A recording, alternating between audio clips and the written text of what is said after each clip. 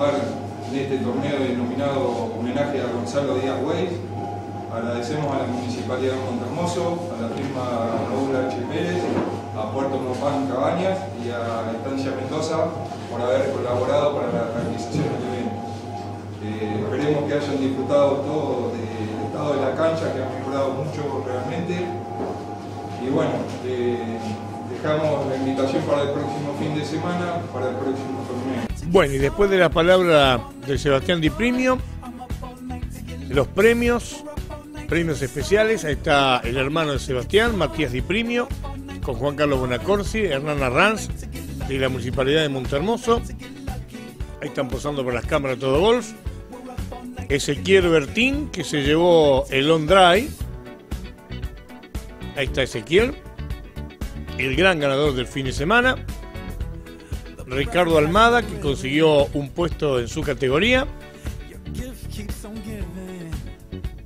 También la victoria de Gustavo Vanegas. Ahí está la victoria del jugador que sigue radicado en Bahía Blanca, pero que también juega en Montermoso.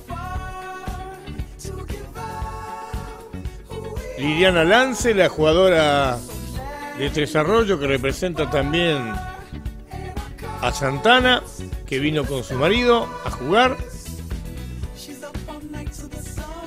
Una nueva victoria, en este caso, con buenos premios de Estancia Mendoza, para Sebastián Di Primio. Segundo lugar, y acá está la victoria para Matías Di Primio.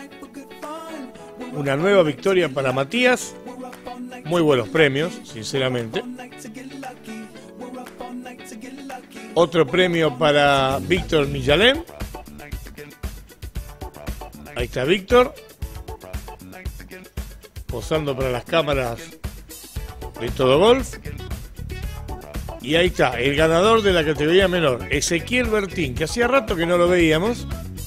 Y que de esta manera se llevó el premio mayor ganando la categoría menor. Y después hubo sorteo porque no había terminado el torneo de Patting Green, que había tenido un desempate.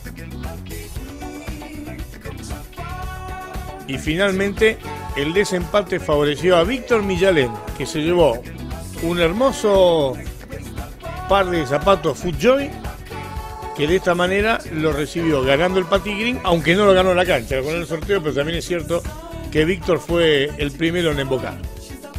El torneo primavera, en las cámaras de todo golf, el Monte.